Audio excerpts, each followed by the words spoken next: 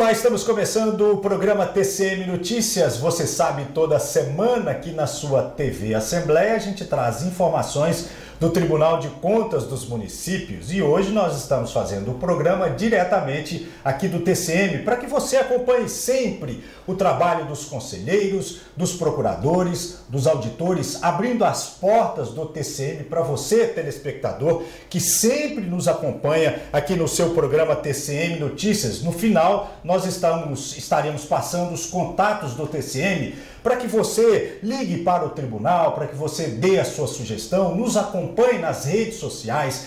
É importante a sua participação, como eu sempre falo aqui no nosso programa TCM Notícias, você que banca toda essa conta dos nossos poderes constituídos. E hoje nós estamos recebendo aqui no nosso programa TCM Notícias Roberto Coutinho, auditor de controle externo do TCM, para falar de um, de um assunto extremamente importante, a educação.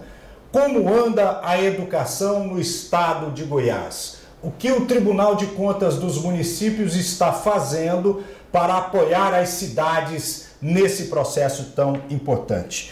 É, Roberto, é um prazer estar recebendo você aqui no nosso programa TCM Notícias. Eu que agradeço essa oportunidade de poder estar aqui passando um pouco do trabalho da área técnica do TCM. E você que faz é, é, um acompanhamento extremamente significativo, porque o tribunal, esse ano de 2018, a educação como base para se investir cada vez mais e melhorar os municípios, não é isso? isso. E como está esse trabalho?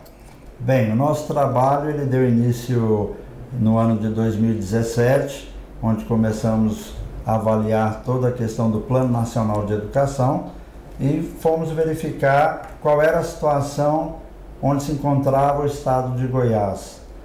É uma avaliação numérica, quantitativa inicialmente, onde verificamos que mais de um milhão de alunos estão na educação básica até o ensino fundamental, dos quais mais de 70% estão no setor público. E você tem aqui né, os dados numericamente sobre isso. Né? Nós temos aqui, é, você poderia dizer o que você encontrou nesse censo escolar de 2017 aqui em Goiás? Olha, no censo de 2017, na educação infantil, que são de crianças de 0 a 5 anos, nós temos 231 mil alunos. Uhum. Desses, 170 mil estão na rede municipal. municipal. A diferença disso está na rede privada. Uhum. No ensino fundamental, nós vamos com mais de 877 mil alunos no ensino fundamental em uhum. anos iniciais, que é do primeiro ao quinto ano, e nos anos finais, do sexto ao nono ano. A participação dos municípios ela é expressiva nos anos iniciais, uhum. também com mais de 70%. E, esses números que são importantes, porque aí a, o foco do Tribunal de Contas dos Municípios ele atinge praticamente mais de 600 mil alunos, né? Pelos dados que você é, é, é, está mostrando aqui para nós, para o telespectador do nosso programa TCM Notícias. É, é o alvo de vocês e que como o tribunal está lidando com um contingente significativo tão grande como esse? Bem, é indiscutível que a educação ela é o ponto fundamental de evolução de qualquer sociedade. E o que nós estamos verificando por meio desse Plano Nacional de Educação é que a universalização dessa educação ela já está bastante avançada. Uhum. No ensino fundamental nós estamos praticamente com 100% de universalização. A educação infantil, principalmente na pré-escola, são crianças de 4 a 5 anos, Ou seja, que é obrigatório. que estão nas salas de aula. Isso. Nós já estamos aí também atingindo mais de 80%. Então, falta ainda avançar, sim, mas o tribunal está buscando muito mais agora a questão da qualidade para a educação dessas crianças. Ou seja, é, é, como você disse aí, numericamente, nós temos aí quase 100% das nossas crianças em salas de aulas, né? O, o, foco do tribunal é fazer com que eles melhorem, né? que os municípios possam dar qualidade para essas crianças aprenderem em salas de aulas. Né?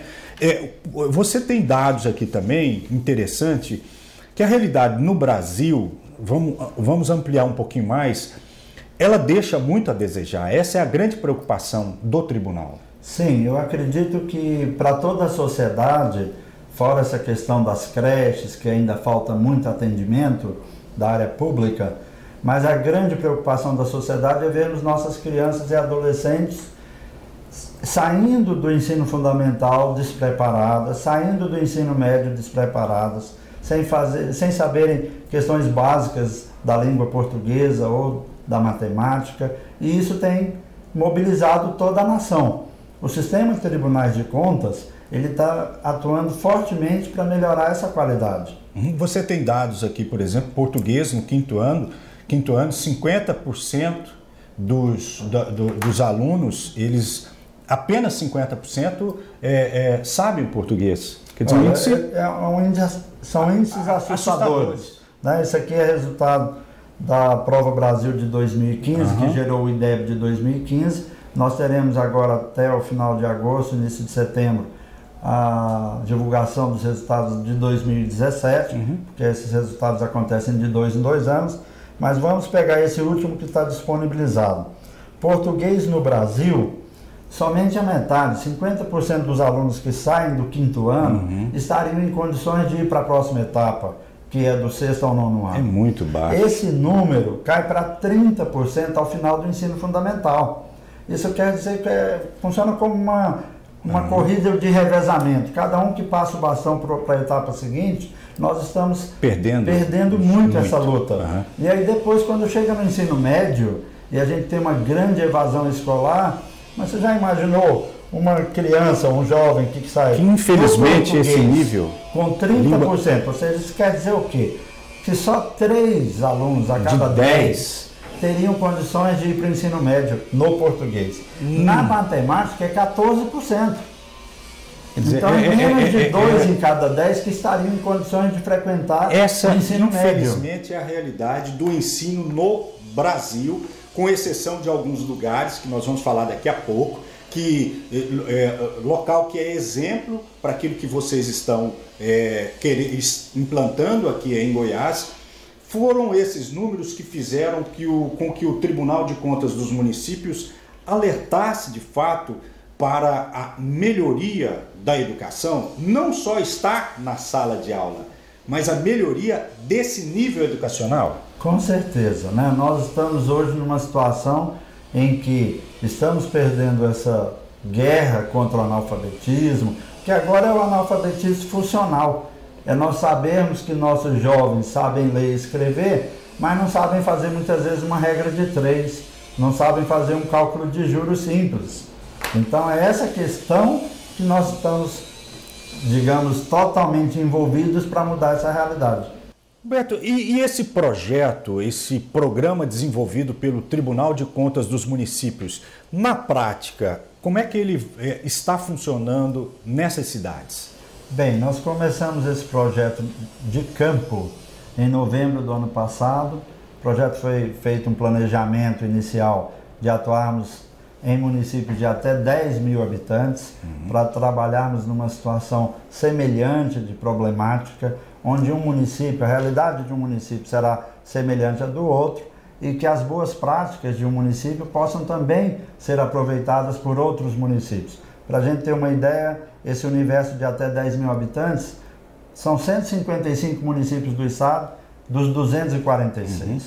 Quer dizer, a maioria, né, até 10 mil habitantes, que é a educação básica que está lá, que é de obrigação dos municípios, é esse trabalho que o Tribunal de Contas está fazendo, de poder clarear, é, acompanhar auxiliar, porque a responsabilidade principal, logicamente, é de quem mora nessas cidades, mas a orientação, a preocupação do, do Tribunal de Contas dos municípios é fundamental nesse processo para que tenhamos cada vez mais uma educação básica é, é, cada vez melhor, é, que possa surtir efeito.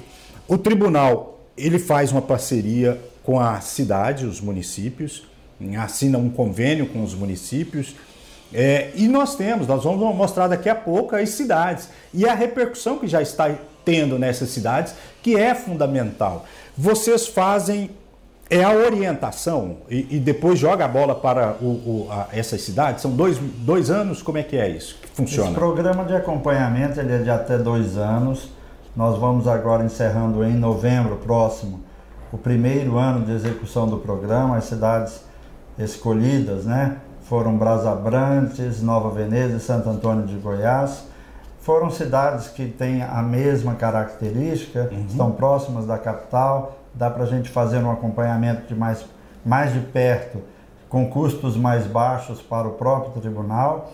E o que nós levamos para eles desde o início é que esta responsabilidade de monitorar e avaliar o plano é da comunidade local, é dessa comunidade escolar. Uhum. Mas o que nós vemos é que, por exemplo, na maioria dos municípios pequenos, nós não temos o Conselho Municipal de Educação atuando. Esse é um dos pontos mais importantes do projeto. É trazer o controle social para executar as ações de acompanhamento, de monitoramento. Você falou aí nas três cidades, Brasabrantes, Santo Antônio de Goiás, Nova Veneza é, e também Aragoiânia, juntamente com o Ministério Público, nós vamos falar daqui a pouco. Mas eu, eu gostaria de colocar agora um depoimento de quem está vivendo lá nas cidades. Nós vamos começar com Brasabrantes, é, vivendo realmente e, a educação no município e o que, tem, o que tem influenciado esse trabalho do TCM lá nas cidades. Acompanhe. Ele tem nos ajudado a analisar as metas, é, as ações, as subações. Isso tem crescido o município. Houve um crescimento nas salas de aula, temos hoje um acréscimo de 10% no segundo semestre deste ano, justamente pela busca ativa que nós fizemos, com auxílio do TCM. Muito bem, você acompanhou esta entrevista, esta fala de Brasabrantes com informações importantes do reflexo do trabalho do Tribunal de Contas dos municípios na cidade, auxiliando no desenvolvimento da educação base, de base lá na cidade de Brasabrantes. Como você sabe também, telespectador do nosso programa TCM Notícias, nós estamos falando com Roberto Coutinho, auditor de controle externo do TCM, que está implantando, que já está implantando é, aqui no Tribunal de Contas dos Municípios e acompanhando esse projeto extremamente importante, fundamental, que é melhorar a educação no estado de Goiás. Vocês pegaram, Roberto, de exemplo onde? Porque às vezes quando se fala em educação ou economia, investimento, as pessoas pensam, não, nós temos que buscar modelo é, fora do Brasil. Mas aqui vocês estudaram bem essas cidades para levar a, é, a qualificação em Goiás, em onde? Olha, a questão da educação é óbvio que em vários países do mundo, principalmente desenvolvido, eles estão à frente de nós Sim. aqui no Brasil. Nós estudamos esses casos também fora, mas fomos identificar aqui mesmo no Brasil quem está tendo sucesso, quem está obtendo sucesso indiscutível uhum. com suas políticas públicas de Estado para a educação. Nós identificamos a cidade que está sempre aparecendo também na imprensa, que é Sobral, no estado do Ceará, uhum. uma cidade de 200 mil habitantes, ou seja, é uma rede já mais complexa uhum. e que tem resultados excepcionais. Aqueles 50% que nós estávamos falando do português, do português. caindo para 30%, depois chegando na matemática 14. até 14%, nós temos unidades escolares em Sobral que são de 100%. Ou seja, 100% dos seus alunos saem encerrando sabendo. o ensino fundamental, nono ano, em condições de frequentar o ensino médio. Não é o número total do, uhum.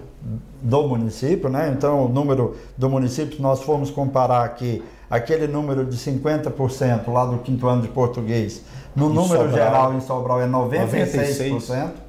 E a matemática de nono ano, que é 14%, lá são 63%. E o, e o que, que vocês analisaram aí? Logicamente que a gente sabe, investimento em material, em equipamento, é, pagando bem professores, é, dando condições estruturais para que realmente o aluno. Esse é o caminho? Foi isso que vocês observaram lá também? Isso vocês estão levando para os municípios goianos? Olha, a questão de financiamento da educação ela é sempre muito debatida porque, de fato, precisa aumentar investimentos. Mas o que chamou muita atenção no caso Sobral é que o investimento por aluno para obter esses resultados, ele muitas vezes é inferior a uhum. vários municípios do estado de Goiás. Uhum. Então, se nós, com o mesmo recurso por aluno, estamos tendo muitas dificuldades, nós temos situações como a de Sobral que está tendo um grande êxito com a, me, com a é gestão mesmo. É gestão, envolvimento da sociedade escolar, comunidade escolar, pais de alunos, professores, a, a questão da, do conselho né, social, de controle social, o engajamento da Secretaria de Educação, prefeito, ou seja, são todos. É união. A educação é uma, é uma, é uma união. Vai ter a solução quando todos estão envolvidos. É, né? sem dúvida. Nós vamos mostrar agora para você, telespectador do nosso programa TCM Notícias, Santo Antônio de Goiás, um representante falando desse trabalho do TCM em apoio à educação no município. Acompanhe. O TCM veio contribuir assim integralmente, né? Os auditores que têm participado com a gente aqui têm nos trazido uma outra visão, informações né, nos quais assim têm nos ajudado bastante. E pelo TCM não, não estar como órgão fiscalizador, mas ser um órgão fiscalizador, ele tem também trazido essa visão, essa, essa, esse cuidado né, que nós devemos ter em relação aos gastos, né, localização de, de recursos. Muito bem, você acompanhou a autoridade aí de Santo Antônio de Goiás falando sobre o trabalho do Tribunal de Contas dos municípios na cidade para melhorar a educação. Nós vamos para o intervalo, daqui a pouco nós estamos de volta com o programa TCM Notícias.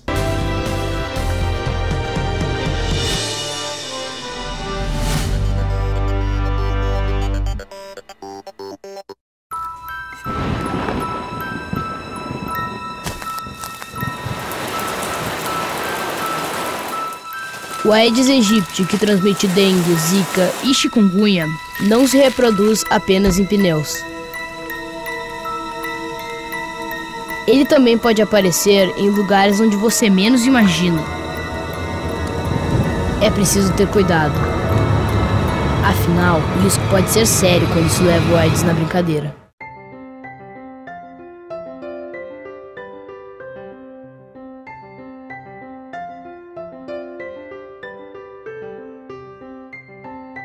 Em um mundo de diversidades, a fé prega o amor e a igualdade. Então, por que alguns praticam a intolerância e a desigualdade? O respeito não escolhe fé.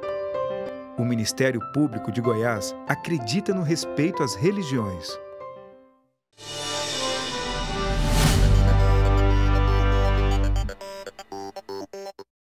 Estamos de volta com o programa TCM Notícias, como você sabe, telespectador da nossa TV Assembleia, toda semana trazendo informações do TCM, abrindo as portas do Tribunal de Contas dos Municípios para que você conheça o trabalho dos conselheiros, dos procuradores, dos auditores, que são pessoas que cuidam dos recursos do cidadão.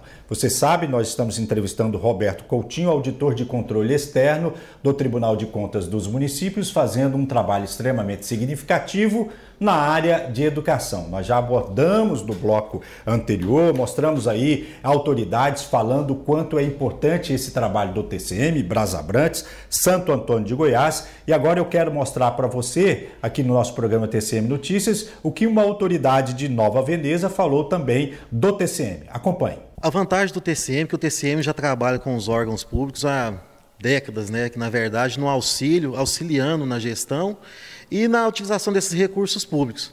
E uma delas, que é uma das prioridades, que é a educação, o TCM vem fazendo essa parceria buscando mostrar para os prefeitos a importância da educação de estar tá injetando esses recursos específicos, não só eles, mas uma parte também dos seus recursos próprios, para que a educação flua e cresça cada vez mais. Com isso, como? Buscando novos recursos, novos repasses, buscando a abertura de novas escolas, de novas vagas, entendendo qual realmente é a necessidade da, da comunidade, da população. É isso aí. Você acompanhou Nova Veneza falando do trabalho é, dos auditores aqui do Tribunal de Contas dos Municípios, é, Roberto que tem uma parceria também com o Ministério Público, né? O, Ministério, o TCM começou antes, o Ministério Público viu quão é importante unir forças para que as nossas cidades tenham cada vez mais é, uma qualidade na educação. E começou por Aragoiânia esse trabalho em conjunto? Sim. Esse trabalho nós tivemos aí batizando o programa de PNE aqui, uhum. que é o Plano Nacional de Educação naquele município. Uhum. E na realidade ele é uma junção de dois programas, dois projetos, um abordado e trabalhado pelo Ministério Público, que já tem muito tempo também, que é o Bem Educar, uhum. onde um dos eixos dele era o monitoramento do plano de educação. E nós aqui com o nosso programa de acompanhamento.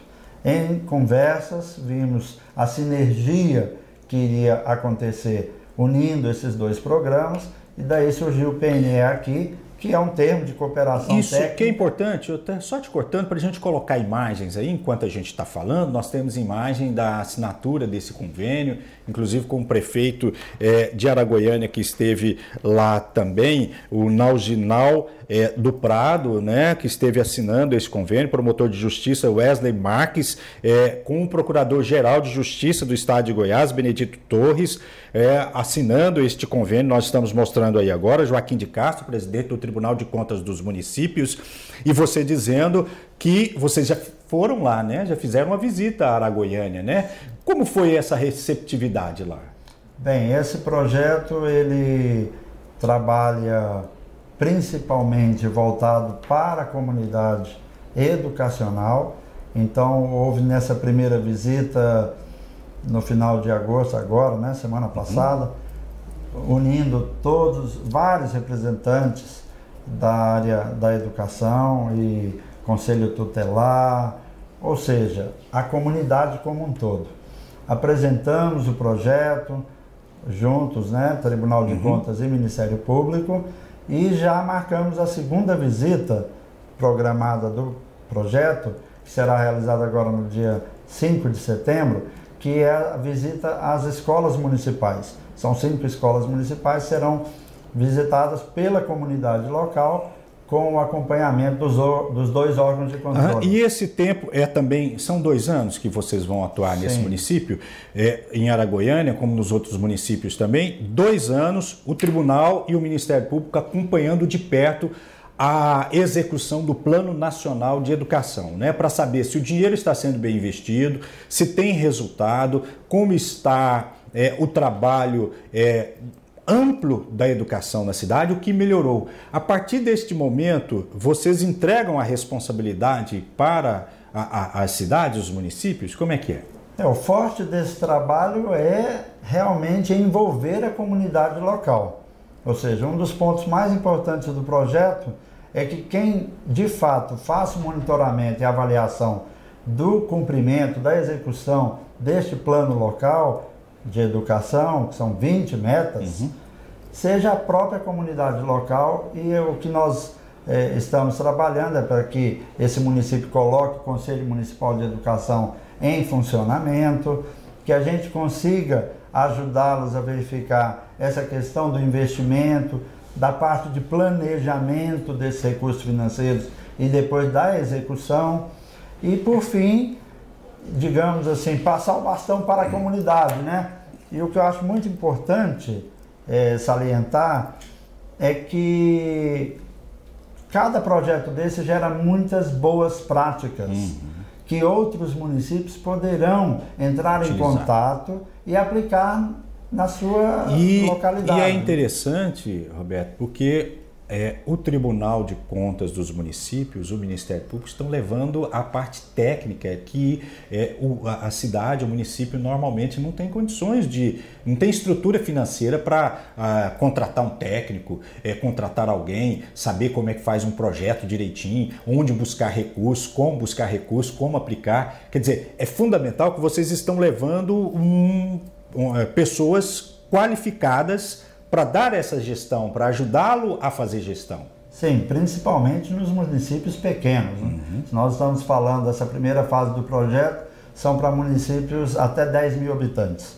A fase 2, que vai se dar no ano que vem, nós vamos estender para municípios de até 50 mil habitantes. Uhum. Para esses municípios, investir mais recursos para ter melhores técnicos, o tribunal e o Ministério Público estão tentando cobrir essa lacuna. Né?